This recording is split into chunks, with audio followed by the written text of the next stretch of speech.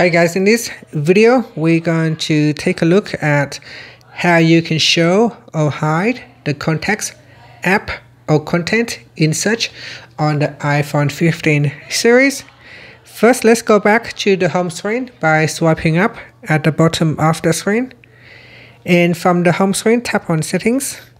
Now in the settings page we scroll down and then tap on contacts. Next tap on Siri in search. Then we go down to the while searching section and then tap on show app in search. This option will allow you to show the app in search or not. And then the next um, item is to show the content in search or not. So you can um, you can allow uh, the device to search for the content uh, for the contacts detail, or you can choose not to show the contacts details in the search result. And that's it. Finally, you can swipe up to go back to the home screen. Thank you for watching this video. Please like and subscribe to my channel for more videos.